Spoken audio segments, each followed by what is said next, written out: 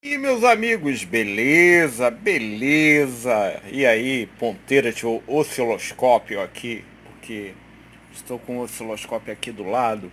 É o instrumento de precisão que eu tenho aqui na G, ele é muito fundamental, muito mais além do que o próprio multímetro, ok? Multímetro ele tem um atraso, ok? Tem um atraso. Deixa eu tirar aqui meu espanta pernilongo, ok? Ele tem um atraso no funcionamento, ok? E são tais coisas que eu preciso de escala, divisão de tempo e assim vai. Eu não, nem preciso explicar tanto. Aqui, ó, nessa placa de áudio, que é a 66006/1, né? Eu já fiz o recap, né? É, ainda permanece o transistor. O transistor já veio, já teve intervenção técnica esse aparelho uma vez, tá?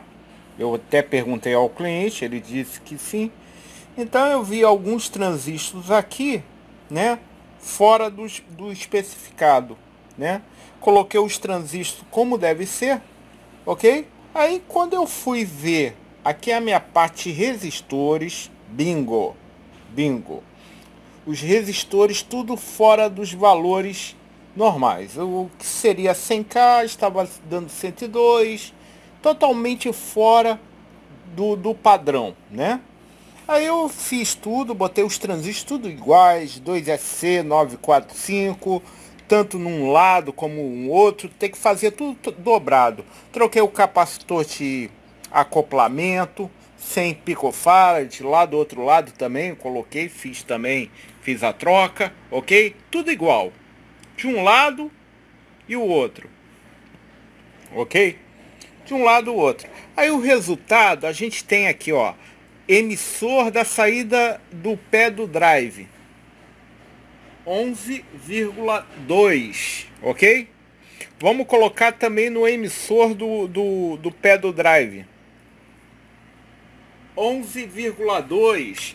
Quer dizer que isso daí é o resultado do trabalho. Tanto ele está idêntico, tanto de um lado como um outro, eles estão trabalhando iguais, ok? E como a gente está trabalhando com estéreo, fazemos de tudo para colocar pelo menos os dois canais batendo iguais, tá? Salvo, salvo quando a gente coloca em mono. Então, os dois canais têm que falar iguais. Quando você bota estéreo, claro que vai ter uma qualidade melhorada, né? Aquela divisão, parará. Mas no mono, os dois canais têm que falar iguais. Então aqui também não vai ser diferente. Todas as tensões que acontecer aqui num canto, o outro tem que responder. Aconteceu nesse porque são placas idênticas. Você pode ver aqui, ó. 6006/1. A outra placa 6000 6006/1 também. Mais um trabalho aqui finalizado aqui na G. Foi feito o recap. Uma retranstorização, tá? Retranstorização não uma refiz uma, uma parte de resistência na parte do power do amplificador. Estava com os valores chibias todos diferentes fora do especificado ok? Refiz a fonte de 27 volts e meio que alimenta o pré o tone. Então tá aqui os capacitores todos da marca Secon, alguns épicos, ok? Todos, exceto épicos que são de 85 graus, mas a maioria, 95%, são todos capacitores de 105 graus, ok? Esse é um vídeo não parcial, é um vídeo de finalização de trabalho, ok? Aqui foi alterado só para melhor essa correção que foi feita aqui. Foram colocados capacitores de 10 mil por 70, mesmo que a fonte trabalhe com 36 volts a 40, ok? dependendo da voltagem, porque a nossa companhia de eletricidade não manda 127 e manda 130. Então a fonte já está é, um fator de amortecimento muito bom. Olha os épicos aqui embaixo. 220 por 50. Ok? Depois vem o second. Ok? Foi feita uma correção na fonte, a fonte estava dando 30 no excesso sem regular. Então a gente observa aqui uns resistores em série com o outro, porque são valores específicos para fazer a fonte funcionar, ok? Então tá aqui trabalho feito. O, eu tinha falado isso é um discriminador de AM? Não, isso daqui é um decoder, é um decoder do estéreo. É todo equilibrado aqui, todo certinho, acendendo a luz do estéreo, ok? Aqui é, estou sem a frente, eu vou montar agora a frente, mas eu vou entregar na terça-feira, que é hoje. E eu estou falando, falando para vocês é uma madrugada, são duas horas da manhã, gente. Eu já vou dormir, mas o importante é que eu vou levantar da bancada feliz, né? Porque foi já resolvido, sanado os problemas dos canais que estavam batendo fora do especificado.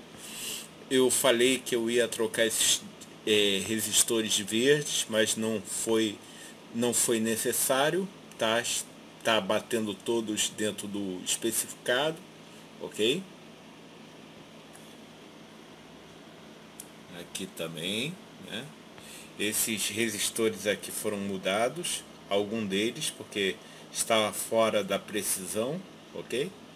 Então tá aí o trabalho realizado. O cliente já personalizou essa frente, colocando de, é, LEDs. LED é diodo emissor de luz, ok? Essa tomada, essa tomada, deixa eu ver, aqui encaixei, ó, tá bem clarinha, tá certinha, os veuzinhos aqui.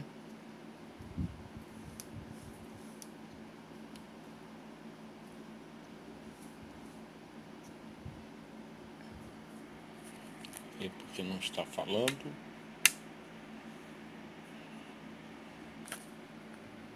Está falando porque as caixas, lógico, estão desligadas, ok? Então, mas o aparelho está aqui, está funcionando. Vemos aí o movimento do, do dial, ok? Estava escutando o AM. A etapa discriminadora, oscilador e discriminador e detetor está aqui esse, essa placa 4004, ok? Foi toda recapeada, toda calibrada, ok? Foi feito um trabalho, vai ter garantia e o cliente vai ficar feliz. Ok, pessoal?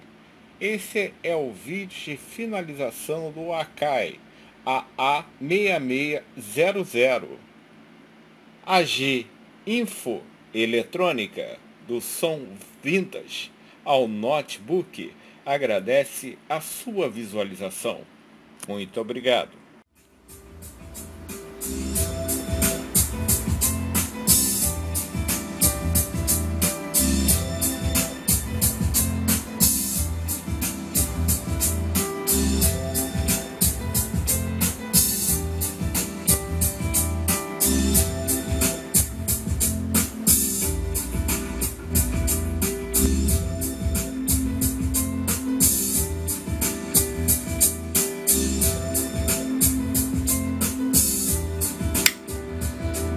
Thank you.